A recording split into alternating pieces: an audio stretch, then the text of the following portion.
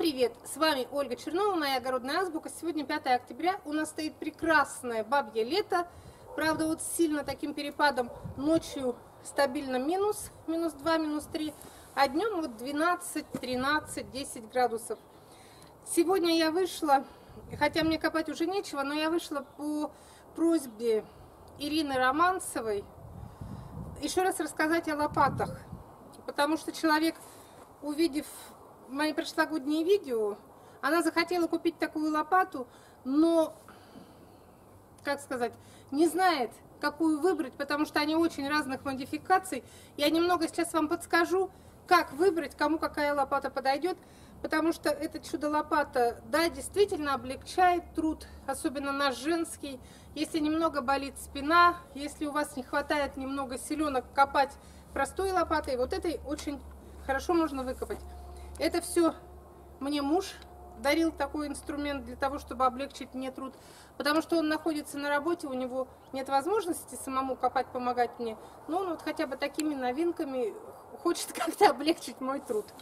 Вот смотрите, сначала у нас появилась вот эта лопата, я потом, как она просила прям в сантиметрах смерить, я потом позже в конце смерю, но сначала расскажу, что она может быть простой, видите конструкция, просто одна как вот эти широкие такие вилы, и без, без всякого.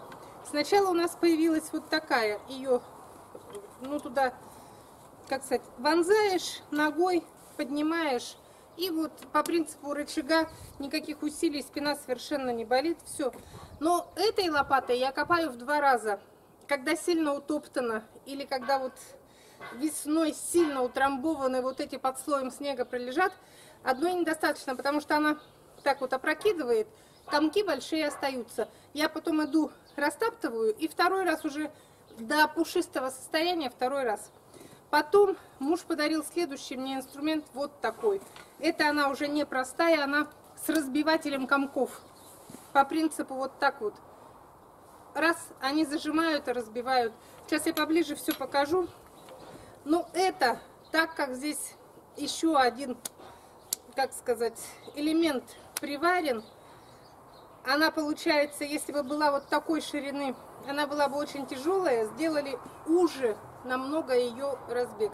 Вот мужу нравится это, мне нравится вот это. Я к ней привыкла и больше не хочу ее менять на другую лопату. И поэтому, когда вы будете выбирать, лучше было бы, если бы вы у кого-то у знакомых или у соседей попробовали покопать, какая вам это или это нравится. Мне не нравится вот это вот видите, клацающая. Она из двух состоит, она гремит. А муж копает только ей. Сейчас я камеру сниму, возьму сантиметр и специально вот для зрительницы, для моей, для которой снимаю, я смерю высоту, ширину. И может быть кому-то это поможет в выборе. Но вот мое мнение, я сейчас его выскажу. Мне кажется, это просто все индивидуально. Кому-то может понравиться это, независимо от размера. Мне нравится, что она широкая. Мне нравится, что грядку за два прохода можно сделать полностью хорошую грядку. Это немножко поуже, но это разбивает комки. Вот мужу нравится, что на раз он копает, а мне нравится, что... Ну, короче, у нас с мужем всегда нравится все совершенно разное. Если мне нравится эта лопата, то вполне закономерно, что ему нравится совсем другая. Мы любим разные фильмы, разные блюда и разные лопаты. Нам тоже нравятся совершенно разные. Когда вы будете выбирать, лучше бы покопать.